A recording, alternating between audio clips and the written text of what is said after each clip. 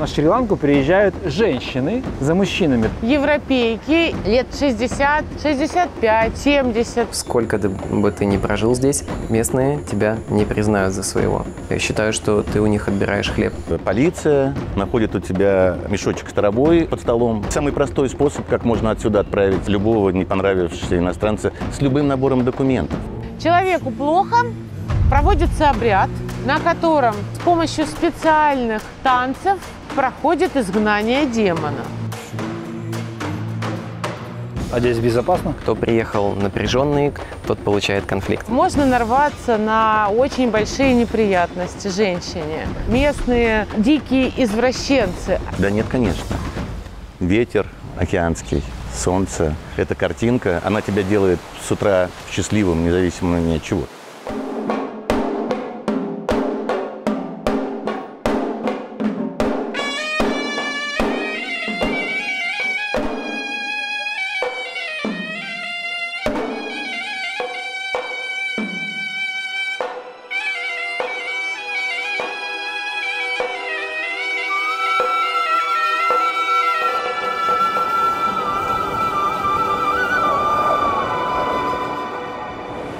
Изобилия. Именно так санскрита переводится название этого государства.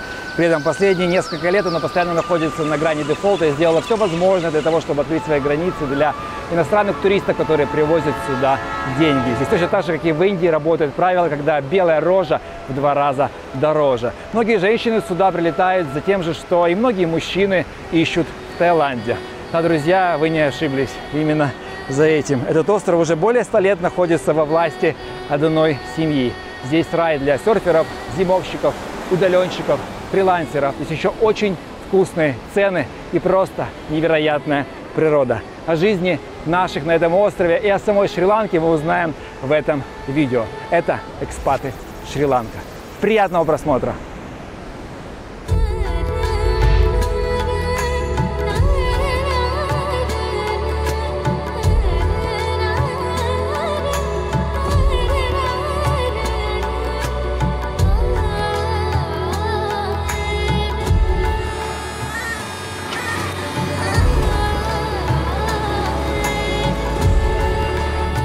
О жизни на Шри-Ланке расскажет Владимир, веб-разработчик и профессиональный серфер из Крыма. Как-то он поехал зимовать на Шри-Ланку и почувствовал, что это место может стать его домом. Как в воду глядел. Владимир на острове уже 11 лет, живет в Хикадуве с женой и сыном, работает удаленно и занимается туристическим бизнесом.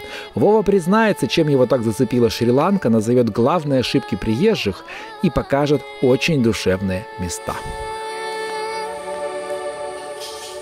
Володя, слушай, какая-то нестандартная хикадува, спокойная, красивая, какие-то джунгли, причем это в пяти минутах езды от океана. Что это за место? А, пять километров от Хикадувы, а, где большая река, где рыбацкий порт. Называется это Эковила. Хозяин этого места унаследовал э, землю и сделал здесь ботанический сад, э, картинную галерею. Вот. И это одно из самых красивых мест в округе. То есть ближайшее это только у нас в 50 километрах особняк э, британского архитектора Биви Сабавы. Как в твоей жизни случилась Шри-Ланка? У моей семьи на Черноморском побережье бизнес сезонный, летний, и мы всегда работали, а лето пропускали. Вот, и всегда хотелось куда-то поехать зимой, чтобы было тепло, океан, фрукты. И вот так вот получилось Шри-Ланка. Это был 2011 э, год.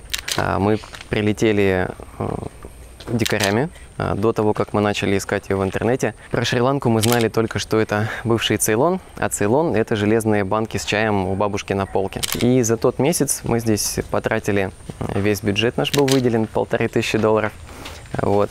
И накатали мы почти две с половиной, по-моему, тысячи километров.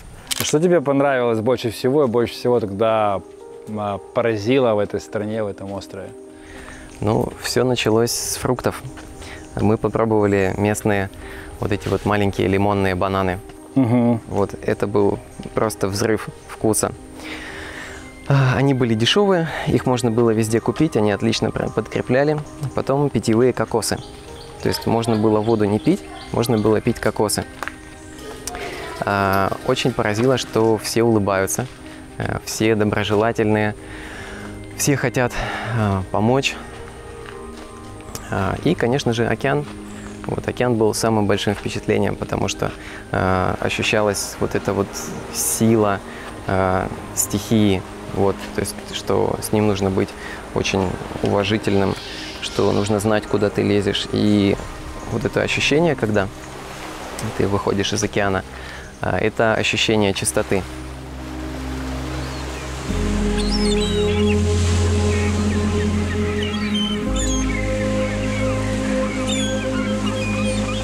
А, Это одно из двух озер, которые окружают Хикадуву.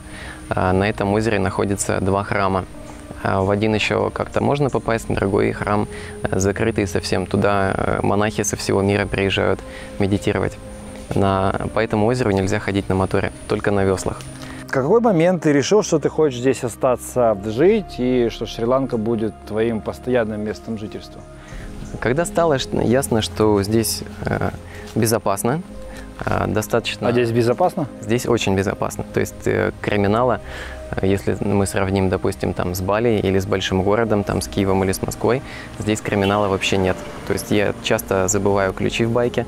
Э, Если ты какие-то вещи оставил, ты приходишь, они лежат на, на том же месте. Э, В том случае, если кто-то не побежал тебя искать. Вот там, вы, забы- забыли телефон. В целом, остров э, возвращает людям то настроение, с, с которым они сюда приезжают. Кто приехал напряженный, кто хочет э, конфликтовать за какие-то услуги, сервис, тот получает конфликт. Вот. Кто приезжает э, без ожиданий, э, тех остров встречает э, какими-то подарками. Все, что здесь у туристов может произойти, это все связано только с э, их какими-то ошибками. То есть там пошел в океан туда, где течение, да, или э, сел в тук-тук, в такси, э, и не, договор- не договорился о цене. Да, Заранее. да, заранее. То есть заранее всегда цену нужно спрашивать, ну, потому что э, бывает, когда выходишь, цена уже совсем другая. Здесь э, чисто, экологически, все пьют воду из колодцев. А Здесь безопасно, вот, э, достаточно вкусно, хорошие э, фрукты и овощи. А, И океан, здесь прекрасный океан.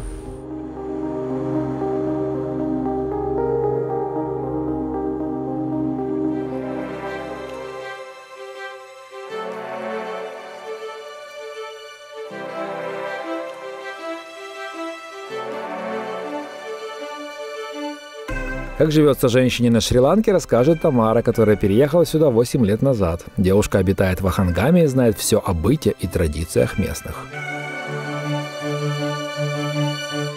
А Оказалась я на Шри-Ланке 8 лет назад. Я не собиралась здесь жить, я не собиралась здесь оставаться. Вообще даже никогда планов не возникало у меня жить за границей. У меня было в России свое собственное туристическое агентство. Большое очень количество моих туристов полетело на Шри-Ланку. И они рассказывали мне, э, насколько это прекрасный остров. В какой-то момент мне действительно захотелось посетить этот остров. Я позвала свою подружку, мы прилетели на Шри-Ланку. Тамара наслаждалась райским отдыхом и даже не подозревала, что совсем скоро ее жизнь изменится кардинально. Счастливую туристку увидел местный парень Манджу, но так и не осмелился подойти. Отпуск закончился. Тамара улетела на родину, но осталась в сердце ланкийца. Через знакомых Манджу отыскал контакт загадочной иностранки и написал «Привет». Так завязалось общение, которое переросло в большую любовь.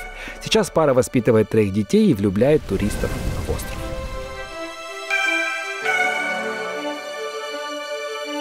Какими сложностями, Тамара, ты столкнулась, когда приехала сюда к своему будущему мужу и вообще осталась здесь жить?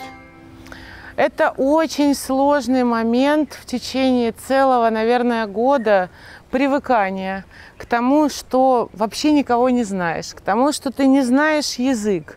Единственный плюс – это то, что мой муж знал русский язык.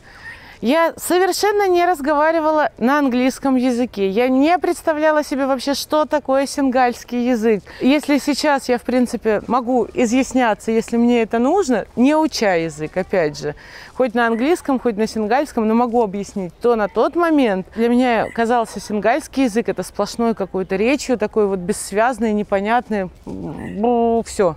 Здесь нету друзей, здесь нету родителей, да, то есть улетаешь от всего. В России у меня была достаточно налаженная жизнь. То есть у меня все было. У меня было свое туристическое агентство. А, я работала в ВУЗе преподавателем. Я защитила кандидатскую диссертацию. Зачем я сюда сорвалась, я просто не понимала. Влюбилась, да, хорошо, но, ну, наверное, можно было как-то это по-другому там, предложить, может быть, переехать ко мне. Но такой вопрос тоже не рассматривали по той причине, что если многие ланкийцы хотят улететь из Шри-Ланки, то этот ланкиец категорически даже не рассматривал вот этого вот. То есть нет и все. А вот этот парень из тех, кто легок на подъем. Знакомьтесь, Саша. Переехал на Шри-Ланку 10 лет назад, открыл гестхаус в партнерстве с местным и встретил здесь любовь всей жизни. Саша живет в Хикадуве, показывает туристам остров и сам не перестает восхищаться красотой вокруг.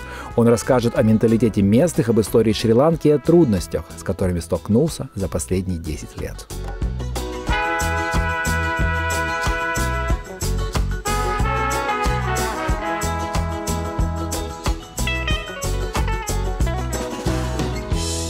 Я Хикадуву, скажу тебе честно, Саша, представлял по-другому, потому что из того, что мне рассказывают, это условно шри-ланкийская Паттайя, где пакетные туристы приезжают, их много на пляже, и в основном это тюлени, и это X10 у Наватуны, и это, наверное, X100 Ахангама, где живу я. Я приезжаю, и здесь пляж, красивый, практически никого нет. Э, мне неправильно рассказывали, просто не хотели, чтобы я сюда ехал. Я здесь 10 лет, я за 10 лет здесь видел уже несколько разных хикадов. Тут даже была такая хикадува в 90-м году, когда здесь э, преимущественно жили финны. Хикадува тогда говорила по-фински. И там была финская деревня, где финские названия. Вдруг она стала модной в Финляндии. И здесь тоже за эти 10 лет менялась много раз э, картинка. И картинка, которую тебе рассказали, она настоящая. Она была с 15 года, когда Кагалы Мавия Э, взорвался с русскими туристами, которые летели с Египта в Москву, и Россия закрыла Египет. А это было направление, куда летали люди, all-inclusive, не говорившие по-английски, и было место, куда можно такому простому среднему классу свалить.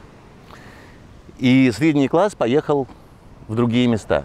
Они приезжали по-египетски сюда – селились, там есть пара больших отелей, около пары больших отелей есть маленький пляж. Они выходили из него, у них напротив супермаркет э, с ромом и отель, и пляж. И они на нем все сидели на полотенцах. Э, ну и там еще нет волн, да, потому что там это тоже бухта. И получалось, что другие люди, которые приходили на пляж, они видели вот этот вот кусок, на котором э, отдыхают люди на полотенцах, толпами лежат друг на друга – вот. И поэтому я много раз видел эту историю, что вот в Хикадуве узкий пляж, маленький, и там лежат люди в повалку. Вот. При том, что, э, при том, что здесь пляж такой, здесь, это же был еще и серф-центр раньше, да, других просто не было. Есть место, где учиться, где снорклить.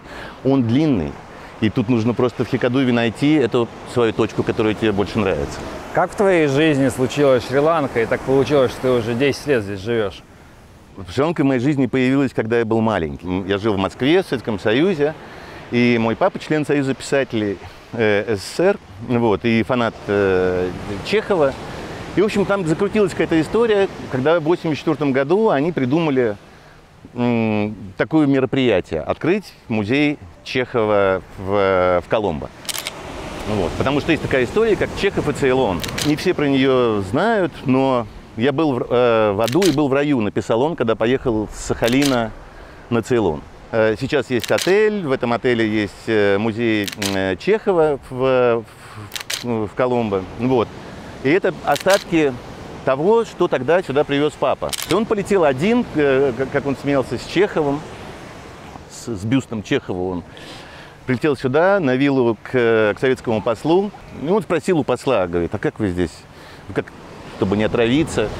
Он говорит, вас, вас еще не волнуйтесь, вот у вас, вот у вас в спальне будет стоять бутылка виски на тумбочке, вот, на, ну, на его вилле. Вы утром просыпаетесь, стаканчик примите, и все будет хорошо. Ну вот. И папа вернулся в полном восторге с этой поездки. И он привез тогда мне вот эти первые мои какие-то штучки. Там у меня был магнитофон со Шри-Ланки.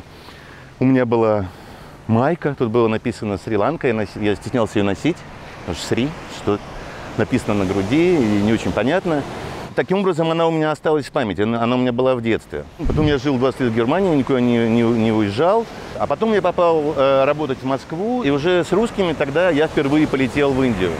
Но билеты дешевые были через Шри, через Коломбо. Им план был две недели провести здесь, и потом на три месяца уезжать в Индию, уже там по ней кататься. А дом здесь, когда мы приехали сюда, мы снимали у Гаяна.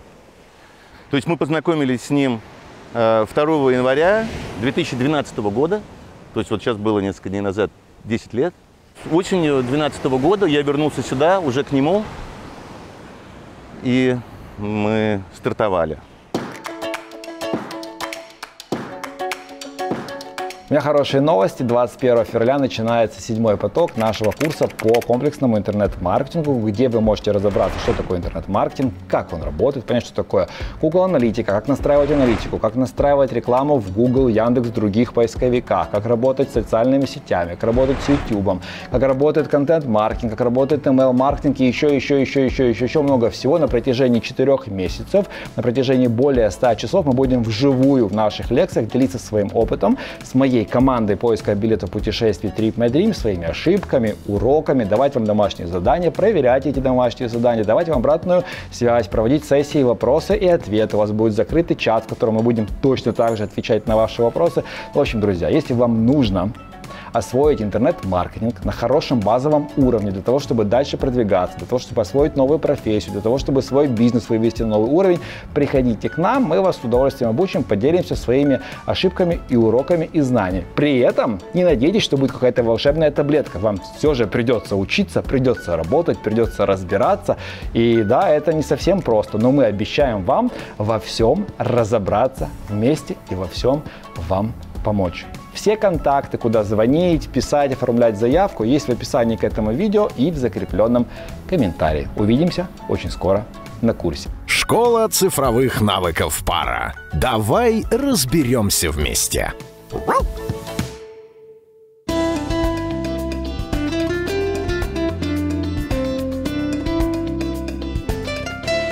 Мы находимся в 4 километрах от берега. Это уже не туристическая зона, белые сюда редко заезжают, но в этом есть плюсы. Э, здесь дешевле жилье, здесь спокойнее, э, здесь больше участки, здесь больше дома. В целом тише. Вот, поэтому здесь очень приятно. Вот рядом с нами рисовое поле в 200 метрах озера, волейбольная площадка здесь рядом. С другой стороны, рядом госпиталь. То есть здесь, здесь все есть. И неважно, там, в 4 мы километрах от берега или в 40, э, все будет примерно вот так. Мы уже в шри-ланкийской деревне. А когда ты стал чувствовать себя здесь местным, и чувствуешь ли ты себя уже здесь местным вообще? Э, можно здесь чувствовать себя местным, но сколько бы ты ни прожил здесь, э, местные тебя не признают за своего. Неважно, женат ты на ланкийке или ты белая девушка, которая замужем за местным, ты всегда будешь либо сэр, либо мэдам. Неважно, 50 лет, лет ты здесь живешь, 60, э, гражданство тебе никто не даст, и местным ты здесь не будешь. Все туристы. Вот, э, люди на берегу, шри-ланкийцы, э, они любят туристов, потому что туристы богатые, добрые, они приносят доход, э, они ну, не совершают никакие преступления, не качают никакие права. Просто приехали люди, отдохнули, оставили денег, все улыбаются, все счастливы.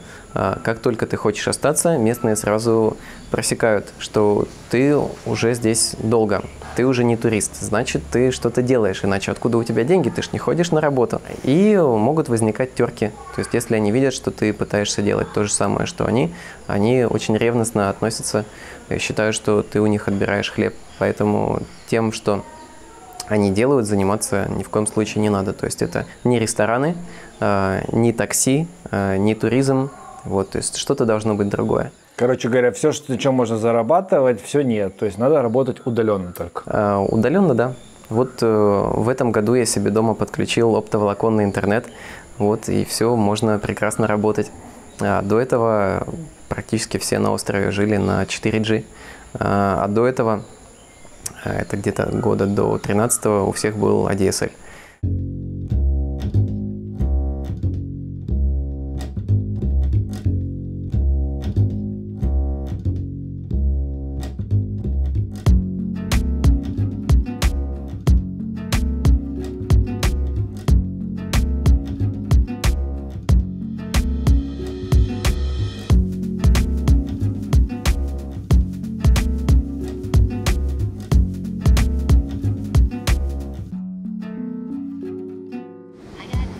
Девушка, вы, наверное, мулатка, черные сиськи, белые пятки. Мы шли здесь, девушки загорали обнаженными. Это можно делать? Нет. Девушки рисковали тем, что их могли посадить за нарушение порядка 14 дней. Категорически запрещено загорать топлес. Мы находимся в буддистской стране. Причем здесь у нас четыре религии собралось. Здесь буддисты, здесь еще и мусульмане, и индуисты, и они просто категорически против. Если ты обращал внимание, местные купаются в одежде. То есть местные женщины купаются э, в платьях, в шортах. Если топлес, она имеет полное право взять, позвонить э, в полицию, в милицию и все. На Шри-Ланке из-за нехватки вот этих вот отношений с местными можно нарваться на очень большие неприятности женщине. То есть это бывает редко, но, ну, к сожалению, имеет место быть. И не, опять же, не из-за того, что местные там дикие извращенцы, а из-за того, что ну, они ничего этого не видят, да, и когда начинаешь привлекать к себе специально внимание, то есть идешь там в магазин в стрингах и в какой-нибудь сеточке, да, это будет дико. Естественно, ему захочется как-то познакомиться и что-нибудь, чего-нибудь ему захочется. Того, что он не может получить от э, своей женщины, или может у него нету этой женщины, да, ну вот и все. В соседнем Таиланде распространен такой вид туризма, как мужчины приезжают и к женщинам, и к мужчинам женщинам, и к мужчинам мужчинам, по-разному. Да. При этом, из того, что я понял, на Шри-Ланку приезжают женщины за мужчинами, это верно?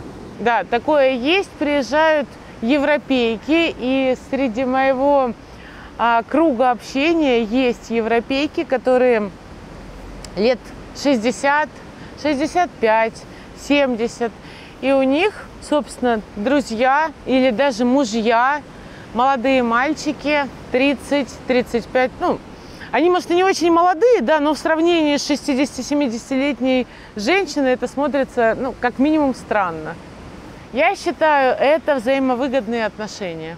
Мужчина, ланкиец, молодой, получает деньги – то, что ему, собственно, и нужно от этой женщины. А женщина получает молодого, симпатичного, красивого ланкийца. И все счастливы. Я разговаривал с местными, мужчины сказали следующее. Нам до свадьбы официально запрещено вступать в интимные отношения с девушкой. При этом я говорю, «А у тебя были до свадьбы? Говорит, ну да, были. Я говорю, а как? Он говорит, ну есть же разведенные женщины. Я говорю, а европейки? Не, говорит, есть разведенные. Как, как это работает здесь? На самом деле девушка не может вот особенно в деревнях. Я не говорю сейчас о Коломбо, да, в Коломбо проживает маленький процент, но это всего 10% вот Коломбо и окрестности. Там современная молодежь. То есть там, в принципе, все допустимо, ну, практически все. А вот маленькие города и деревни – девушка до свадьбы не может сама выходить без сопровождения старших родственников. То есть она даже в магазин, в принципе, должна идти с мамой. Я уже не говорю о том, что куда-то там с молодым человеком идти. Они не могут снять э, номер в отеле при заселении в отель они должны предоставить паспорта. Если вдруг в этот момент приедет полиция и выяснится, что у них нет законного брака, то это, опять же, тоже может закончиться тюрьмой или огромным штрафом. Ну, а самое главное, это закончится позором, огромным позором для семьи девушки. А, еще один пример, очень-очень показательный. Где-то два года назад а, молодая Женщина замужем, молодой мужчина женат. И у них появились отношения друг с другом. Ну, то есть у них есть свои семьи. женщина беременеет. Какая бы, ну, какой бы был поступок, да, у, в нашей стране, ну, это либо развод, да, а, либо, ну, оставили бы как есть, собственно. Простили бы друг друга и жили бы дальше. Они прыгнули под поезд.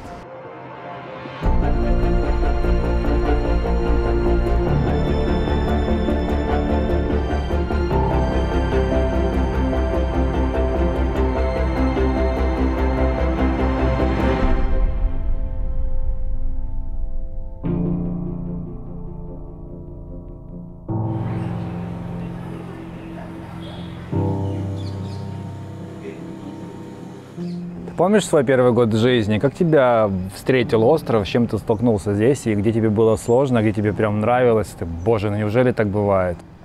Э, Неужели так бывает? Э, Никуда не девается. Я сюда сначала приехал с, э, вот с девушкой, с которой мы здесь расставались. То есть тут были стрессы и переживания. Вот. Но, конечно, ветер океанский, солнце, эта картинка, она тебя делает с утра счастливым, независимо ни от чего. Ты просыпаешься, и тебе хорошо. А потом начинается обычный и, может быть, более страшный э, стресс. Я ничего не знал про то, что такое туристический сезон. Это был для меня главный шок первого сезона, тем, что это оказывается вот так тяжело. Ну вот. И когда мы начали работать, у нас был здесь гестхаус. И в этом гестхаусе, ну, я потом посчитал, там был ресторан. Я за, за сезон поговорил примерно с тысячей людей. И у меня через два месяца пропал голос. Я, у меня такого не было. Я однажды утром проснулся и понял, что я просто не могу говорить ничего. Я две недели лежал. Ну, это уже такое было время, я перестал узнавать людей. Я, я, я путал гостей моего ресторана с жильцами моего гестхауса. Я не помнил, кто, откуда. Они все, э, они все смешались, имена. Ну, о, я отдался полностью этой работе тогда, когда мы только начали это делать. Вот. И тогда времени не было, собственно, сильно э, вникать в, в историю как бы того, как это все должно быть, что такое жизнь. Потому что я приехал, начался сезон, вот тогда, в 2012 году, и понеслась. Это был такой тест, который, насколько я понимаю, очень э, многие приехавшие сюда люди, которые пытаются здесь начать бизнес, э, они его не выдерживают. В любом случае, это деревня, тут есть несколько кланов больших деревенских, вот, и они не любят чужаков, любых. Когда кто-то открыл магазин из Коломбо, его не любили так же, как и не любят иностранцев, которые э, здесь открывают. Просто они это, это хикадувы, и, и каждый, каждая копейка, которая здесь уходит не хикадувским э, ребятам, им, ими воспринимается как э, боль. Десяток иностранных бизнесов, которые у меня на глазах таким же образом стартовали, потому что ты приходишь, находишь себе партнера местного, без него ты вообще здесь ничего сделать не можешь, вкладываешь деньги. А потом в конце сезона, э, в который ты вложил деньги, так благо- благополучно поработал, к тебе приходит э, полиция, находит у тебя э, мешочек с травой э, под столом. До свидания. Было очень, было очень приятно э, с вами поработать. Вот. Человек уезжает э, с, с депортацией, деньги его остаются здесь, заведение открыто. Просто наркоту подбрасывают? Да, да, да. Ну, в смысле, это самый простой способ, как можно отсюда отправить э, э, любого, э, любого не понравившегося иностранца с любым набором документов. Судебная система не работает? Скажи тогда, ты же сейчас здесь сколько? Э, третью неделю. А что здесь работает? Э, ну, солнце встает вовремя и садится вовремя. Дождик почему-то когда не должен идти, вот он и идет. В, в отношении как раз бизнеса я должен сказать, что самое э, сложное, что здесь есть, это организовать свой бизнес так, чтобы он у тебя стал скалируемым, масштабируемым, и вот это все, потому что все это не работает, в этих джунглях все делается в ручном ре- ре- режиме, и тебе нужно всегда следить за всем и каждым шагом всех, потому что накосячить может кто угодно в любом месте и совершенно неожиданно. У нас поработало сейчас, э, наверное, человек 70, и это очень сложно. Обучить их, э, обучить их. Особенно, особенно с, при том, что все, кого, все, кто поддаются обучению по-настоящему и могут это делать, они тут же уходят на повышение или становятся самостоятельными и, и перестают с нами работать. И это бесконечная череда обучения людей, из которых э, 80% ни к чему э, не пригодны, а 20% э, тех, кто, э, э, которые пригодны, ты их все равно теряешь в следующем году. В начале выпуска мы с вами наблюдали историю героини Тамары, которая ради любимого человека приехала жить на Шри-Ланку. И главная сложность этой истории заключалась в том, что Тамара не знала даже английский язык, не говоря уже о сингальском. Друзья, это не единичный случай. Практически все экспаты, которых мы снимали, сталкивались с этой проблемой. Даже я, который много лет учит английский язык и хорошо на нем говорит, понимаю, что без практики, ежедневной нормальной практики с носителями, знания очень сильно и быстро теряются теряются. Самый лучший способ свободно говорить на английском – это практиковаться с носителями языка. Они вас разговорят.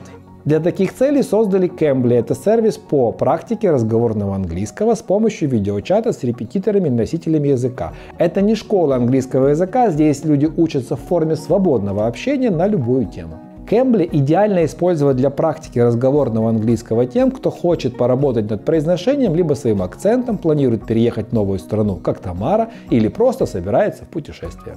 У сервиса 100% репетиторов – это носители английского языка. Англичане, американцы и так далее. Подбирайте на свой вкус. И самое важное, нет русскоязычных преподавателей, а значит на практике можно отработать чистое произношение.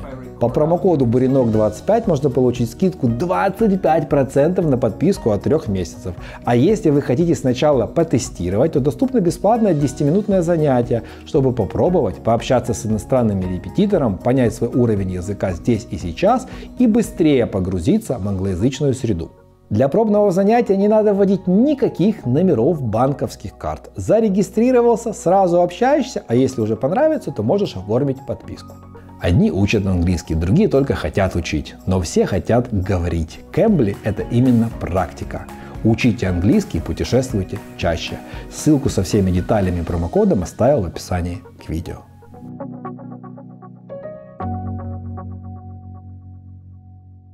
С какими сложностями ты столкнулся, когда вот решил, все, это мой остров, я буду здесь жить, и пришлось вот меняться, адаптироваться, климатизироваться, подстраиваться. Ни в коем случае не стоит думать, что это мой остров. Потому что как только ты начинаешь что-то считать своим, ты сразу с кем-то закусываешься, с соседями, с партнерами. А, чем легче относишься, а, тем легче оно идет. Вот там есть какие-то у тебя проблемы, допустим, вот рядом с твоим домом начали стройку. Вот. Э, да, они шумят, да, от них пыль, но не стоит э, никак им мешать или ничего делать, чтобы им помешать. Э, каким-то образом все разрешается, потому что Шри-Ланка существовала задолго до белых людей, вот, и они самодостаточные. То есть даже если весь мир пропадет с их культурой, Шри-Ланка не сильно изменится. Самые горячие э, молодежь, местные ребята. То есть ты выходишь посерфить, правила соблюдаешь, катаешься, но как только ты начинаешь брать самые классные волны, к тебе сразу претензии. Ты, ты кто такой? Что ты сюда пришел, иди отсюда на берег вообще, потому Местные что... Местные э, Да, местные сидят на споте, и они не дают кататься, если ты ловишь классные волны. То есть, если ты где-то там в стороночке сидишь, там просто отдыхаешь, без проблем. Но как только Канале. ты да, начинаешь э, вытаскивать самый сок, то сразу проблемы. Вот это прекратилось, наверное, лет через, э, через 7 э, вот когда уже все поняли, что точно вот этот человек здесь живет, он всем помогает, очень важна репутация. То есть, когда кто-то что-то про тебя говорит хорошее, то все сразу хорошо к тебе относятся. Трудности, в принципе, каждый год э, вопрос с визой. Вот, сколько ты бы, бы ты здесь не жил, ты гражданство получить не можешь. Это максимум, что ты можешь получить, это резидентская виза, одна из категорий, там либо бизнес, либо э, учебная, либо там медицинская, вот почти у всех медицинская, потому что ее легче всего получить. Сколько стоит, как получается? А, просто так прийти в департамент миграции и сказать «Здрасте, мне нужна виза» нельзя. Вот, нужно какое-то основание, либо знакомое. Вот, э, почти все сидят на медицинской и резидентской визе. А, если просто ты хочешь ее сделать, ты платишь 750 долларов э, знающему человеку, то есть помогающему. Вообще сама виза стоит 200 долларов. Вот, все остальное это э, за работу помощника. Что нужно, чтобы здесь начать жить комфортно? Нужно отпустить э, все, к чему ты привык. Э, это прежде всего еда. Здесь другие продукты. Ты не можешь зайти здесь в супермаркет и купить пармезан. Вот, его просто нет. Нужно переключаться. Если ты любишь мясо, здесь ты садишься на тунца. Вот он практически как мясо. Вот, если ты не можешь жить без гречки, ее нужно привозить с собой. Главное понять, где ты хочешь жить, потому что каждая деревня на берегу, там Хикаду, Наватуна, там Велигама, Бентота, э, у них у всех есть свои особенности. Допустим, Хикадува, она более такая домашняя и семейная, потому что кто в Хикадуве э, там всю жизнь живет, вот они здесь и живут, и они других чужаков, они никого не пускают. То есть здесь у всех там кузены, братья, и вот в одном районе там каких-нибудь там 5-10 ресторанов, это все родственники. Если мы поедем в Унаватуну, а, туда все-таки больше людей приехало. Вот, там уже такое более туристическое место, поэтому выбираешь, где тебе больше нравится. То есть тебе нравится каждое утро здороваться со всеми, или тебе нравится просто никого не замечать, идти на пляж и так вести себя как турист. Здесь есть какое-то русскоговорящее комьюнити, встречаетесь, общаетесь, помогаете друг другу, либо это так? А, вот если собрать всех, кого я ну, знаю лично или удаленно, то где-то 200 человек, наверное, живет на острове. Но практически все э, живут как острова. Вот, то есть мы не часто встречаемся, э, не часто видимся, это нужно какое-то событие. То есть либо кто-то делает какую-то вечеринку или там какой-то там джипси маркет, где все могут продавать там разные штуки, которые они делают. Вот.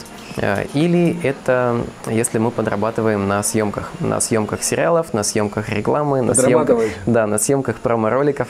Вот, потому что вот когда остров был закрыт, был э, дефицит э, белых, вот, и практически всех экспатов приглашали э, сниматься в чем-то. Реклама, сериал, э, ролики. И это были очень хорошие события, потому что мы встречались, мы были объединены интересом, в котором не было конкуренции. Вот, и мы просто сидели, общались, это здорово сплотило. Вы передвигаетесь на байке. Тебе не страшно ездить, эти крейзи-басы, которые выезжают, и ты должен просто куда-то деться?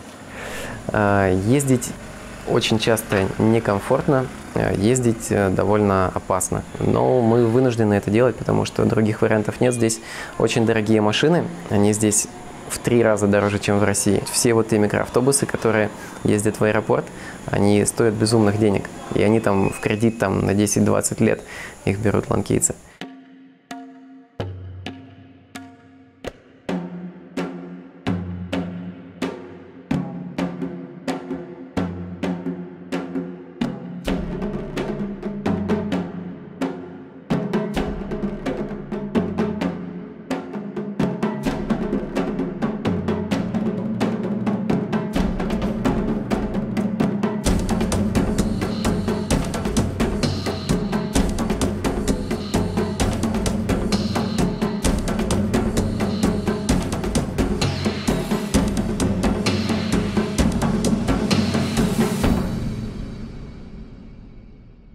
Пожалуйста, вот кратко, а, то о Шри-Ланке, что должен знать я и ребята, которые нас смотрят. Англичане сюда, ну, в 1800, если не ошибаюсь, 32 году, может быть, 30-м, вот в это время, они сюда привезли чай. Тут была засуха, не урожай, погибли, э, погиб, погиб кофе, который они выращивали. И они повезли сюда чай. Привезли сюда индийские и китайские сорта.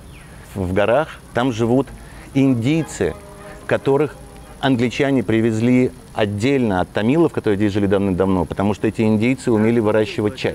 И вообще так они все это здесь организовали, разделяя властвуя, да, что командовали всем э, индейцы, а в подчинении у них были сингалы. Потом, когда англичане ушли, то у сингалов э, были серьезные претензии к индийцам, потому что те были как бы... Их, Выше. Да. И они начали их притеснять, наоборот. Начали их жать, пытаться запретить тамильский язык, сделать только сингальский. И после этого, в 1982 году, э, тамилы в конце концов э, объявили, ну или попробовали объявить эту свою независимость. Вот. И это, собственно, главное, что нужно знать о Ланке и о ее сервисе. С 1982 по 2009 год, 27 лет гражданской войны. Здесь ее не было. И сюда люди все равно приезжали. В частности, именно в Хикаду приезжали. То есть здесь появились тогда же в 70-х хиппи, и, и тут были серферы, но это все были бэкпекеры, да, какие-то какие добровольцы. Но настоящие большие деньги, которые вкладывают большие туристические корпорации, сюда не попадали.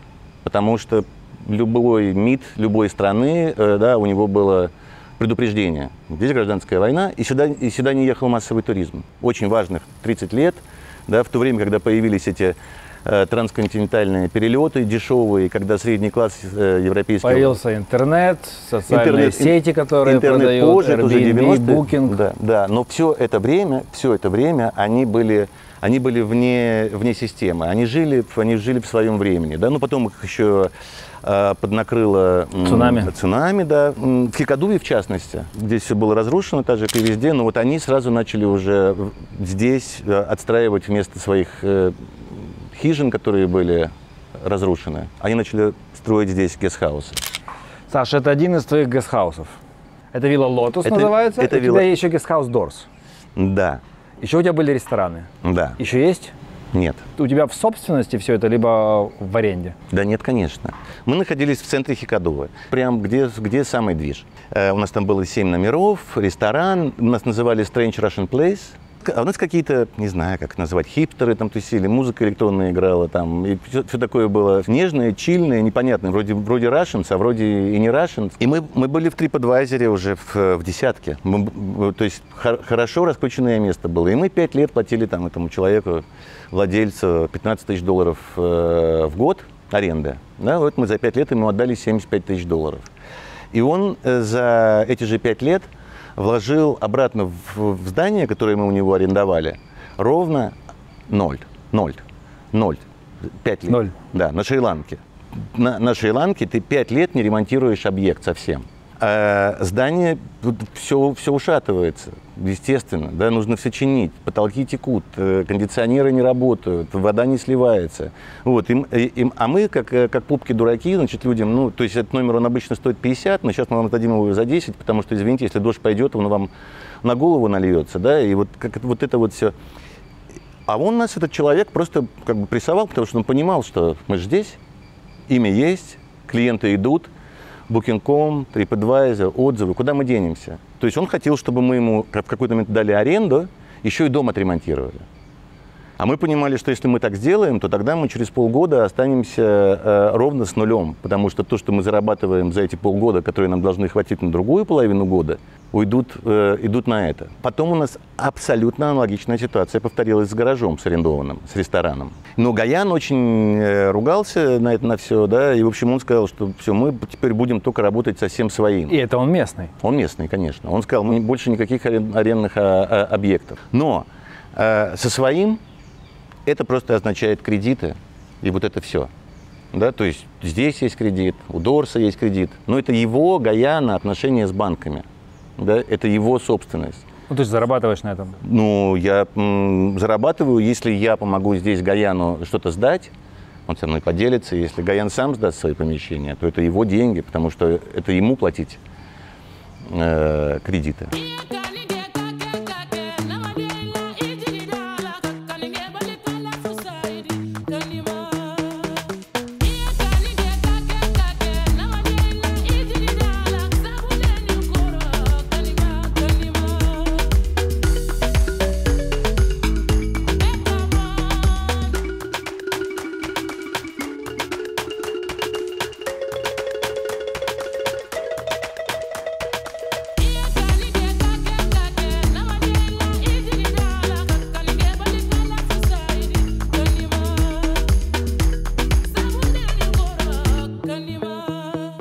А как раскрывалась э, сама страна, как раскрывался остров? Что тебя вот удивляло и удивляет до сих пор? Меня удивляют здесь люди. Прожив здесь 8 лет, а, я видела две крайности. То есть есть люди, которые там последнее готовы отдать, вот реально сделают что угодно. Настолько хорошие. Как правило, это люди из э, глубины чуть поглубже. Либо есть люди, которые готовы на все, только чтобы заработать деньги, только чтобы каким-то образом там надурить. Самый, наверное, нищий слой Шри-Ланки – это тамильское население. А, к, к сожалению, работники чайных плантаций, работницы, женщины очень мало получают. А, Были даже на моей памяти и забастовки, то есть они отказывались работать. Они добились повышения заработной платы. Чтобы ты понимал, раньше они получали 4 доллара в день, сейчас они получают 5 долларов в день, но при условии, что они а, собирают 20 килограмм чая.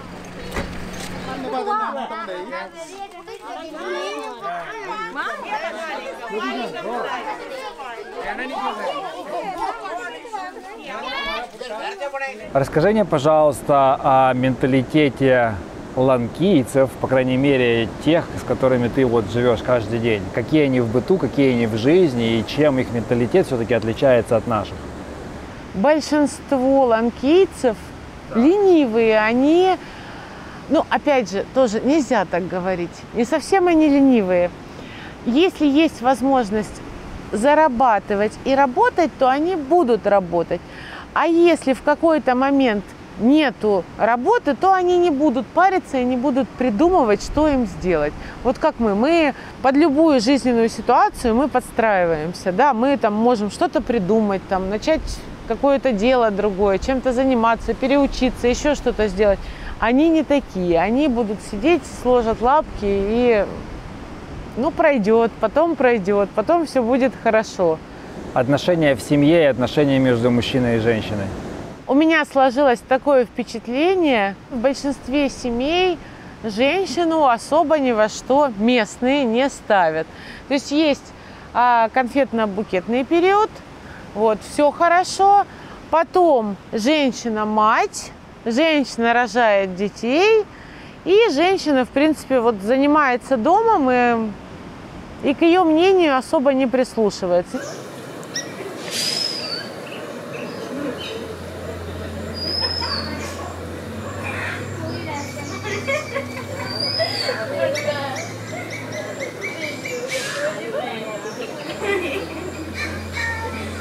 Шри-ланкийцы очень добрые, э, тихие и спокойные люди. Э, Традиционные шри-ланкийцы не употребляют алкоголь, не ругаются матом, э, не кричат. Вот. Они спокойные, доброжелательные, скажем так, они добродетельные, скажем так. Вот. Очень открытые люди. Э, До 2018 года э, женщинам не разрешалось продавать алкоголь.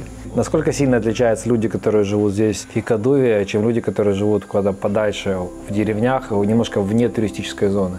На острове еще есть кастовая система. Э, По фамилии человека еще можно определить, из какого он района острова. Если приедешь, э, допустим, в Канди и скажешь, что ты из Хикадувы, на тебя будут смотреть очень подозрительно, э, потому что э, про тебя будут думать, что ты торгуешь наркотиками и обманываешь туристов. Вот. То есть э, в Канди живут образованные люди, которые считают себя очень порядочными, а про людей, которые живут на берегу, они думают, что вот вы рыбаки, вы ничего не знаете, ничего не умеете, и только вот там на своих каких-то быстрых доходах живете. В целом на острове кризис доверия. Вот. э, Люди друг другу не доверяют. То есть э, шри-ланкиец готов работать с абсолютно незнакомым белым, но с ланкийцем он работает очень подозрительно. Поэтому весь бизнес э, происходит внутри кланов, вот, внутри их вот огромных семей. यत्रैव यत्रैव मनोमदीयं तत्रैव तत्रैव तव स्वरूपम्। यत्रैव यत्रैव मनोमदीयं सारि हरि गम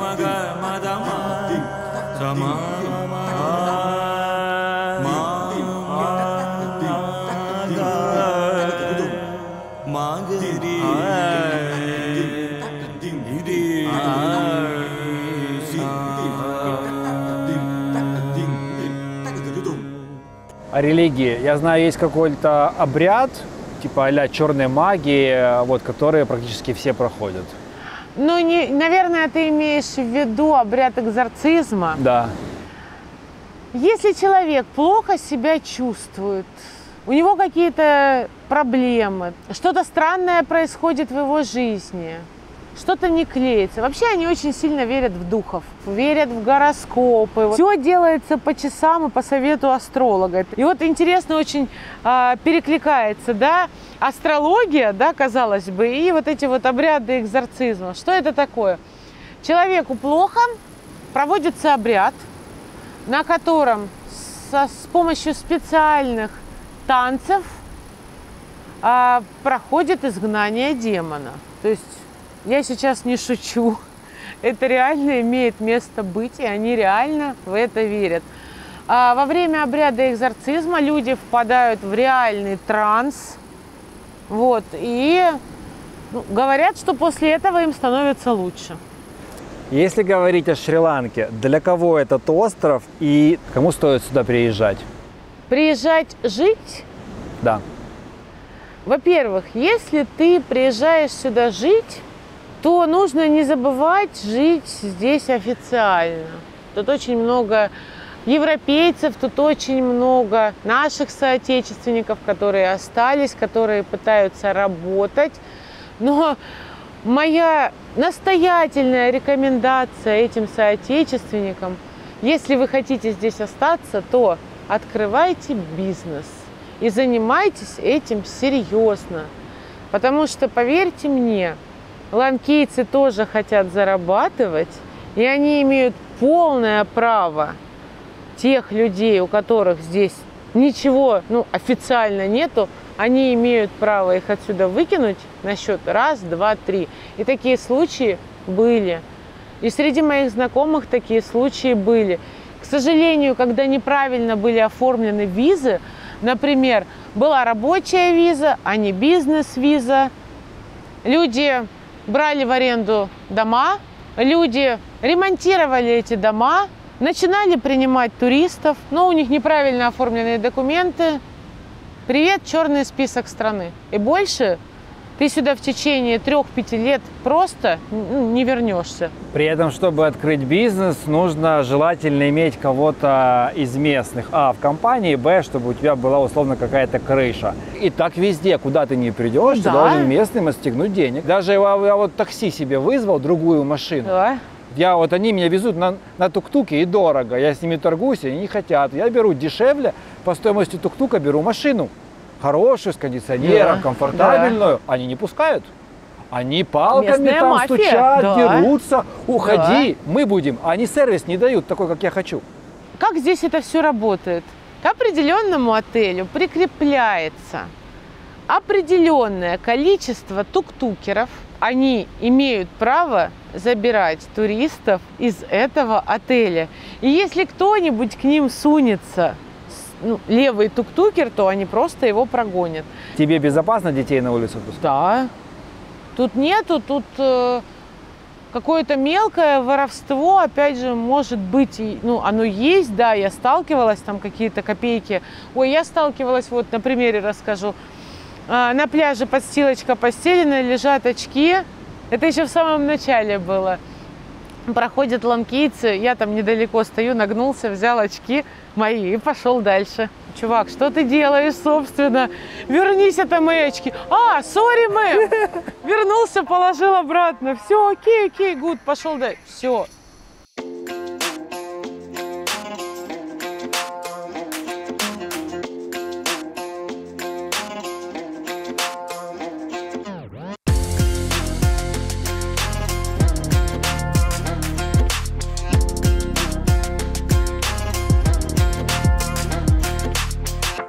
Жена Юля. Юля помогает в бизнесе, правильно? Юля, я помогаю Юле. Хорошо. А, Менталитет шри-ланкийцев, ланкийцев уже, как правильно говорить. Что меня, э, во-первых, здесь удивило? Тут, тут, если вы ходите, вы тоже видите, нету, э, нету девочек.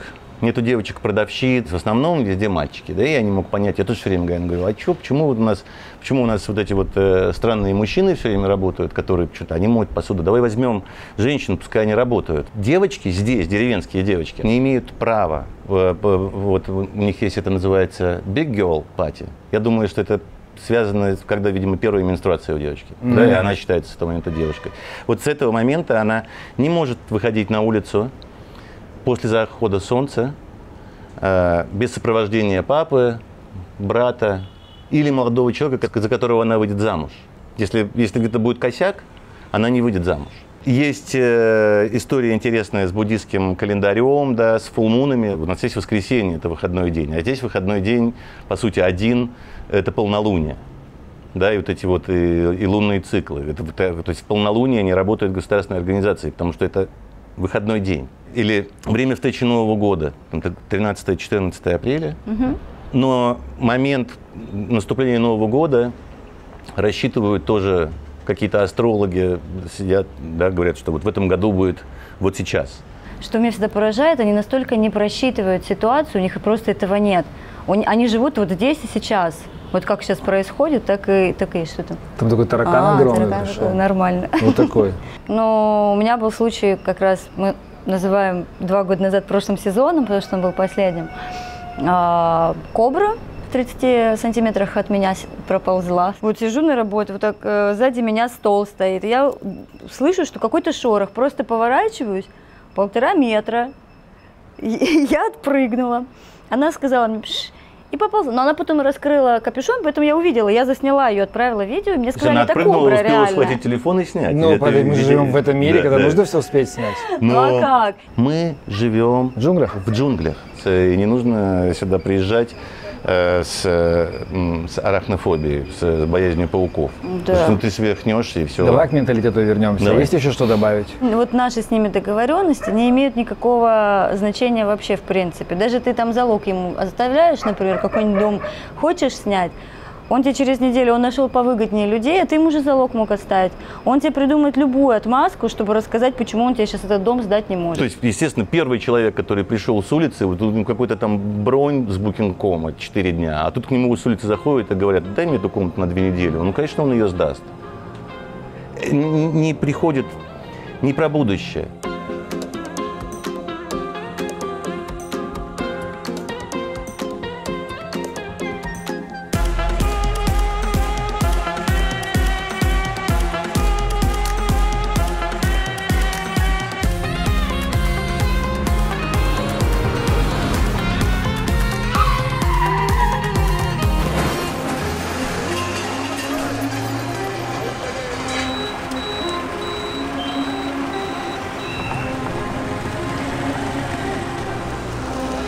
Мы пока ехали сюда из э, Унаватуна, это Гали Форт, очень красивое место, классное место. Ты видел аварию? Там наши русскоговорящие туристы слетели с байка вместе с тук-тукером, там все остановилось вокруг. Это вот сейчас, пока мы ехали? Да, пока мы ехали, да. Я не видел. Это, А- видимо, сразу после нас. А потом нас чуть большой КАМАЗ, ну, местный КАМАЗ, не сбил с дороги. Просто вот он решил, что он главный, и все. Решил нас сносить, нам было некуда уходить. В общем, я в таком легком стрессе, и очередной ом, и выдыхаю. Давай поговорим о э, местном менталитете и о том, какие они ланкийцы. В целом, о ланкийцах можно сказать, что это одни из самых добрых, спокойных и дружелюбных людей на планете. А, Их главная ценность – это семья. Все большие праздники – это все семейные праздники. А, У нас Новый год – это застолье, у них Новый год – это посетить всех родственников. Неважно, их у тебя там 10, 30 или 50. Вот, ты всех должен посетить. Какие у них отношения в семье? Молодежь э, до 20 до 22 лет сидит дома. Дома кто главный, мужчина или женщина? Это у кого как в семье. А Вообще должен быть мужчина, потому что женщина занимается домом, а мужчина зарабатывает деньги.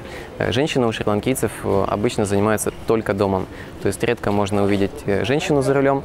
В Коломбо, вот в большом городе, да, там, там неважно, мужчина, женщина, там все работают в офисах. А здесь, на юге, работают в основном мужчины. Очень интересно, как парни знакомятся с девушками. Они не ходят на дискотеки, они в школах учатся в разных классах, мальчишеские классы и э, девчачьи классы. Поэтому жену э, парню подбирают, во-первых, по объявлению. Они дают объявление, что есть Да вот ладно? такой парень, а нужна примерно вот такая жена. Или девушке дают объявление, что вот такая вот девушка, и мы ищем вот такого парня. У него должна быть вот такая профессия, у него должен быть такой заработок. Второе – это гороскоп. Вот, э, индийские эти гороскопы, которые квадратные, вот, сидят э, мамы, бабушки и считают это. Они могут полгода считать, они могут год считать. Потом парень и девушка, если, в принципе, все хорошо, семьи договорились, э, они должны, минимум 5-7 лет они должны встречаться. Потом у них помолвка. Через год после помолвки они могут сыграть свадьбу. И только после свадьбы они могут там поехать и жить там вместе, где им надо. Вот за это время э, жених должен там построить или подготовить дом, там привести свой бизнес в порядок, чтобы вот э, свою семью привести новую в дом. Are you already married? No, no. No, not yet. When are you gonna marry? Next month. Next month. Is it true? Is it true that uh, in Sri Lanka you cannot sleep with each other before you marry? Really? So you didn't sleep? Did, No, did- no, no. Okay, got it. But do you kiss each other? yes. That's allowed. Yes. Okay. God bless you. Как твоя семья развлекается здесь? А, Мы гуляем по пляжу. Мы вы- выезжаем сюда, в Форт Галли, мы кушаем мороженое, ходим в ресторан, мы гуляем по форту. А, Мы выезжаем на кокосовые плантации, ездим на водопады. Вот. И, конечно, дома вот, с ребенком всегда есть чем заняться. Времени свободного немного, потому что мы здесь сами. Все мамы и бабушки, они остались там, поэтому особо не поразвлекаешься. И все наши активности, они все семейные.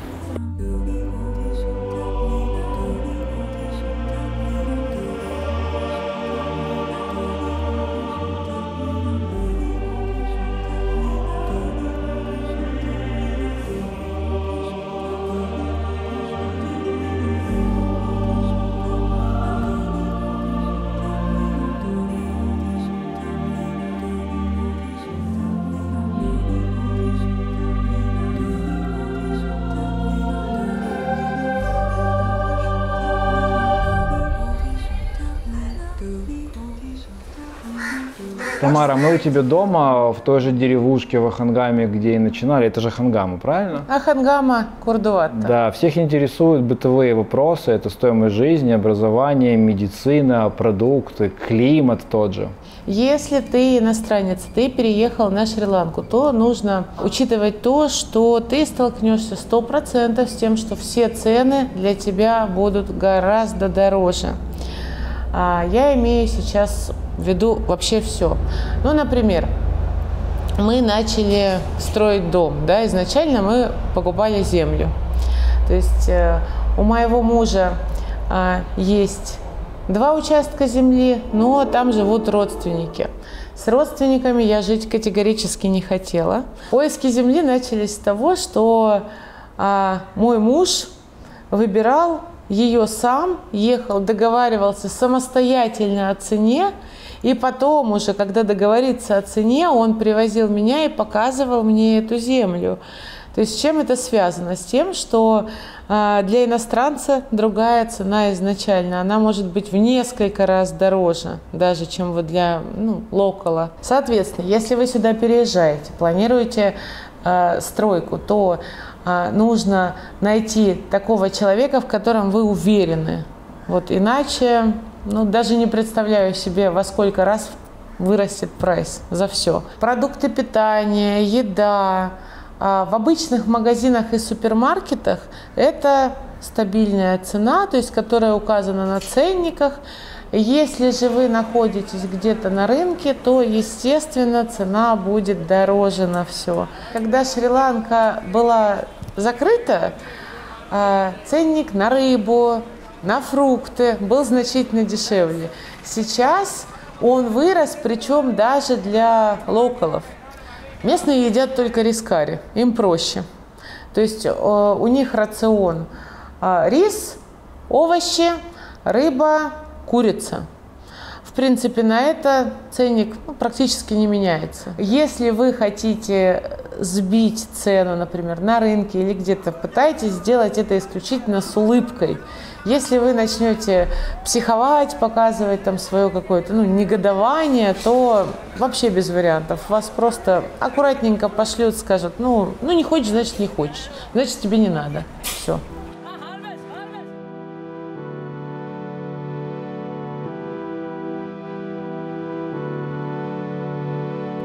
Друзья, если вы собираетесь на Шри-Ланку в ближайшее время, либо в течение года, то я рекомендую зайти в мой инстаграм. Там я сделал большой обзорный пост со всеми советами, как добраться, где жить, какие документы нужны, какие районы для чего подходят, экскурсии, развлечения, питание и так далее. Очень полезный пост, который мы составили в том числе на основе советов, которые вы мне в моем же инстаграме дали. Также, если собираетесь сюда на Шри-Ланку, либо в лю- любое место по всему миру, и вам нужны действительно выгодные авиабилеты, вы хотите выбрать ту авиакомпанию, с которой будет лететься комфортно, посмотреть цены, сравнить В общем, я вам рекомендую пользоваться моим бизнесом, поиском авиабилетов и путешествий. Trip My Dream, который 8 лет назад родился, и за это время миллионы, десятки миллионов путешественников со всего мира им воспользовались. И я рекомендую им пользоваться не только потому, что можете найти выгодные авиабилеты, мы точно так же делаем очень удобный э, гибкий поиск, это когда вы не знаете, куда полететь, когда полететь, и вы просто говорите, например, хочу в Европу на 5 дней в апреля. И мы вам подскажем, куда можно в Европу на 5 дней в апреле полететь. Дома хороший. Даже собака говорит, что можно в Европу на 5 дней в апреле полететь, не знаю, за 50 евро. Зайдите, проверьте. Я вам рекомендую пользоваться Trip My Dream для поиска билетов путешествий. Мы также для вас пишем полезные статьи. У нас свое медиа, у нас огромные социальные сети и в Телеграме, и в Инстаграме, и в Фейсбуке, и своя рассылка, и канал для этого.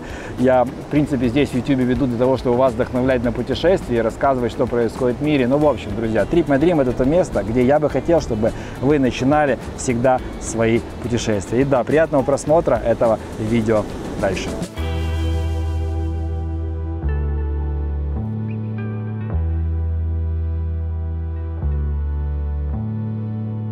ценник нашей жизни высокий.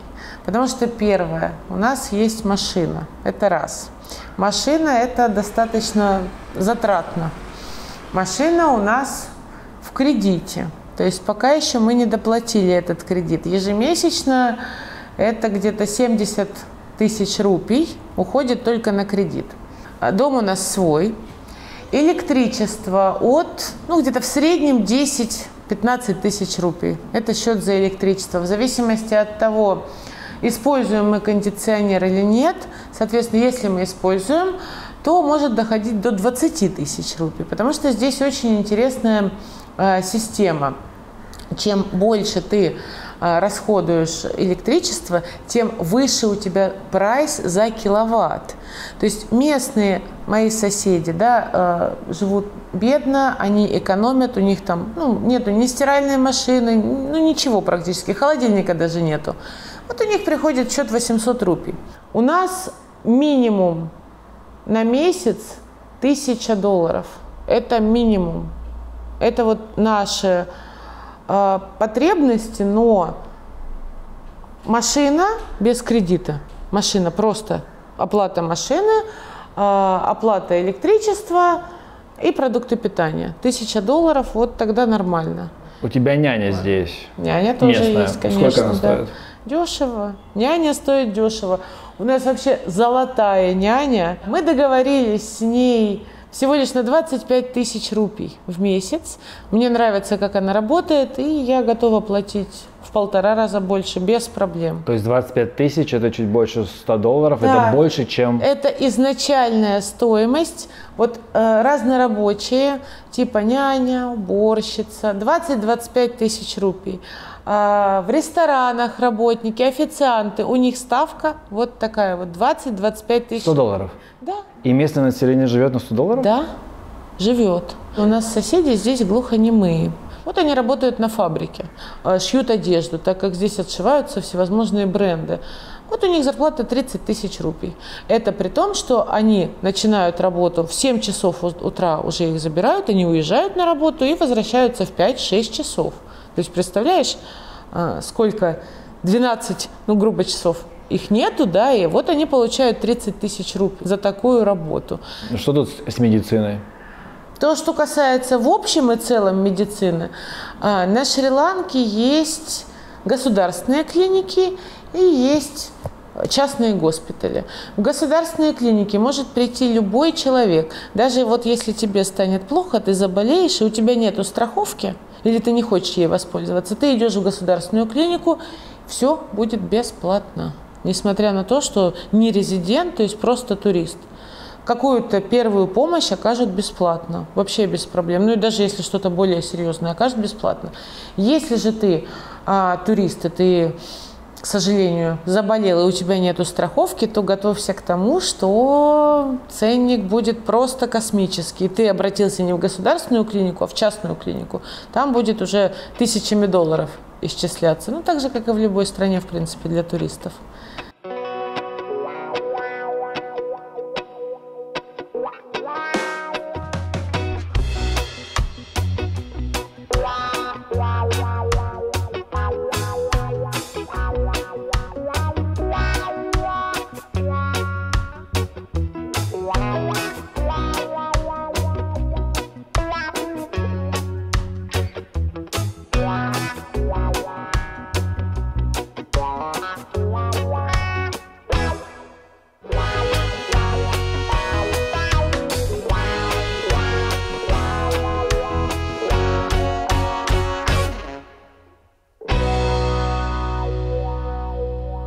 Если говорить о бытовых вопросах, давай быстро пройдемся. Стоимость жизни, как ты, твоя семья зарабатывает, образование, медицина.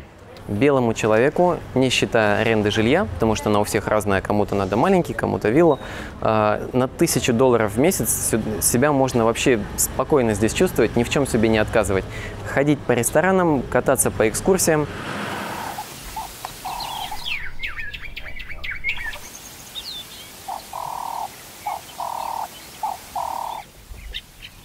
На тысячу долларов можно себя совершенно спокойно чувствовать. Аренда дома э, на долгосрочный период, она обходится там от 350-400 долларов и выше.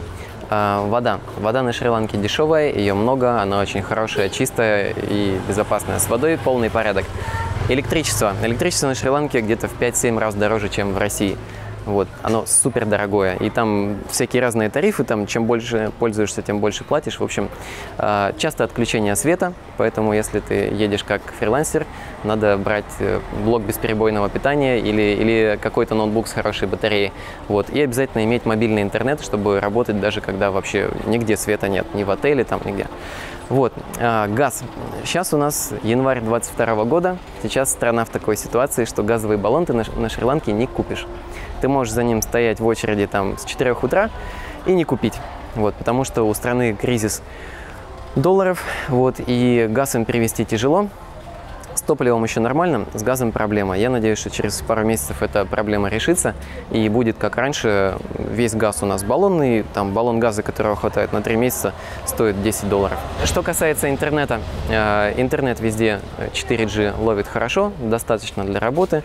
Есть обычные тарифы, есть безлимитные тарифы. В общем, всем для работы хватает. То есть последние там год-два уже фрилансер может ехать и спокойно работать.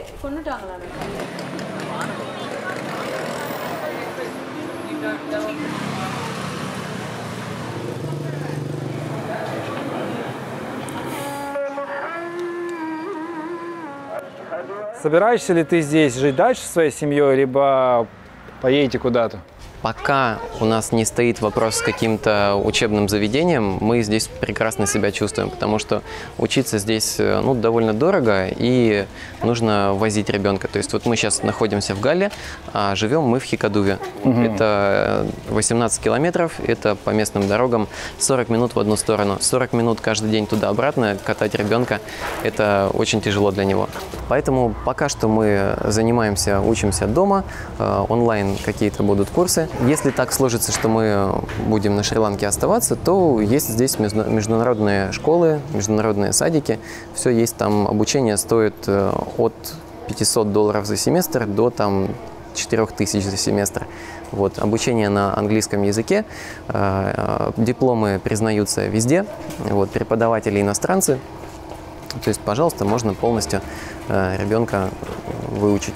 Ты профессиональный серфер, но, наверное, уроки не даешь, потому что, ну, сложно здесь с местными договариваться и так далее. Как ты Уроки, зарабатываешь? уроки, да, я не даю, потому что это больше для, для души, серфинг. А как я зарабатываю? Это аренда вилл, домов, апартаментов, а, изготовление водительских прав, а, виз, аренда байков, аренда машин. Вот, и у партнеров моих э, трансферы, такси, экскурсии. Вот, вот туризмом мы здесь зарабатываем. А у тебя еще, по-моему, ты, ты немного в IT. А, да, и удаленка. Да, я веб-разработчик.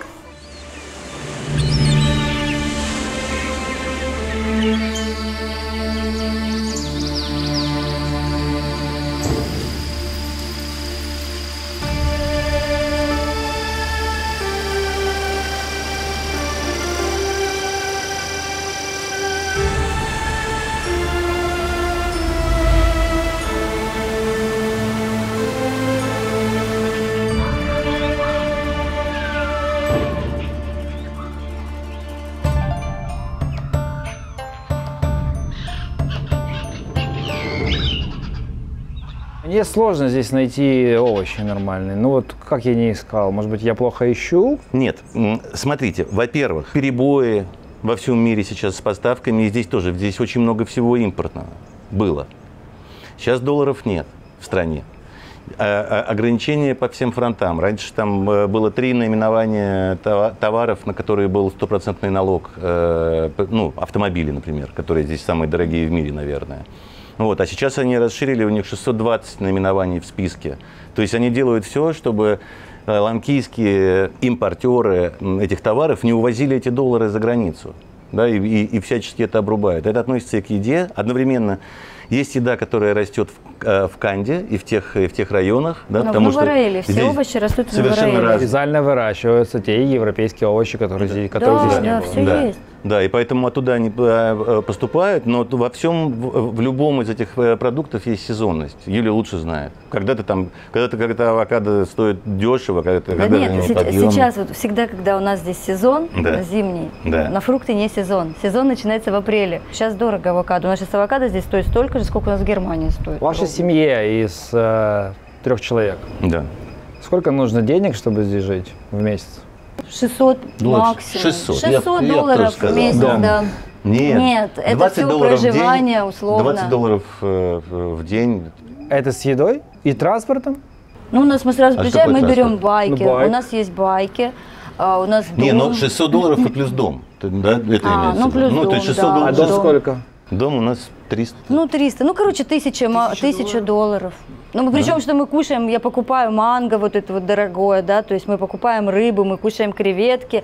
Ну, надо понимать, что мы их не покупаем на рынке, нам их привозят там Гаян, может быть. Но, в принципе, мы тоже заезжаем и Вот так они покупаем. стоят тысячу... Да. Рыба здесь очень дешевая. Здесь в Гале рынок, фиш-маркет, Юля, моя жена, покупает там и креветки, и рыбу очень дешево. Очень Ну, дешево. да, да. Ребята, благодарю вас за рассказ. Э, В описании к видео есть ваши контакты. Писать будут, я думаю, Юле Юле, больше. да, Юля да, справится Юля, с большим да, да. количеством запросов. Вам всем большая благодарность. Спасибо, и спасибо удачи тебе огромное. Благодарю.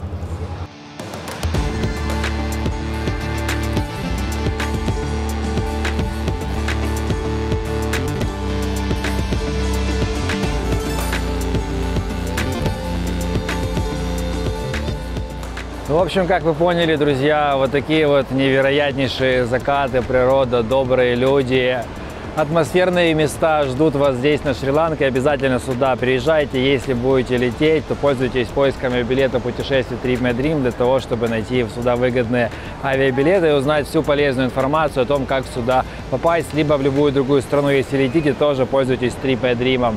Также, друзья, я здесь снял еще три бизнес-выпуска с фрилансерами, удаленщиками, с девушкой, у которой здесь ресторан. Будет три выпуска о бизнесе, о жизни, об удаленной жизни, о, зимо- о зимовке здесь, на Шри-Ланке. И чтобы не пропустить, рекомендую прямо сейчас перейти на мой канал о бизнесе, так и называется Андрей Буренок о бизнесе, и подписаться на мой канал. Всем добра, любви и помните, что куда бы мы ни приезжали, мы всегда привозим себя, поэтому в каком настроении вы себя привозите, таким города и страны, и люди, и места будут вам открываться. До новых встреч. Я выхожу практически каждую неделю. Радую вас интересными выпусками. Вас очень скоро ждет еще Испания, вас ждет еще Мексика. Ну, в общем, много интересного и полезного контента. Всего доброго. Пока. Пока.